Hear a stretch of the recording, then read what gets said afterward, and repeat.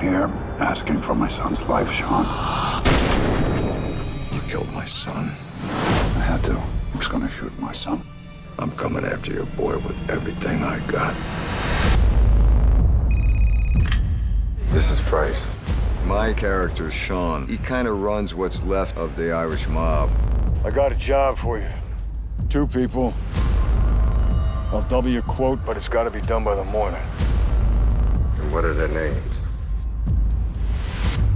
Michael and Jimmy Conlon. You con me, right? You want the job or not?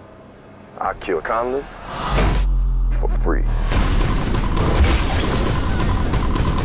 Andrew Price is the top of the line hitman. My character is out to kill Liam Neeson's character, Jimmy, and also Michael. Who was that? He's a professional killer. He won't stop until we're all dead. You ever want to see your family again? Leave. Leave now. As I read the script, I thought about Jimmy's background being similar to Price's. Price is sort of like what Jimmy was, but Jimmy was very much working for Shawn. And, and Price is a hitman that, you know, anybody can buy. And he's the modern day assassin, the Jimmy 5.0. Hey, Price! I've won with Common. Have really good, believable fights.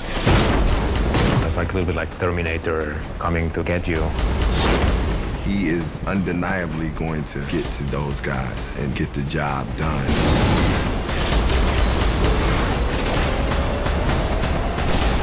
You should have killed me when you had the chance.